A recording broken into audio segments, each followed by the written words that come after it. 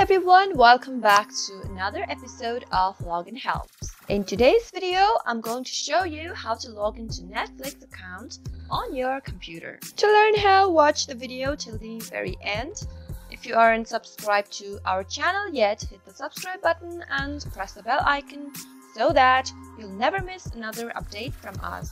Now let's begin. Go to your web browser on your computer and search for www.netflix.com and hit the enter on your keyboard. As soon as you reach the official web page of Netflix, click on the sign in button located on the top right corner of the screen. This is your sign in page. You'll need to enter your email or your phone number on the first row. After that, enter the password to your account, making sure it is being typed correctly without any error. And after you fill in your email or your phone number and your password, simply click on the sign in button.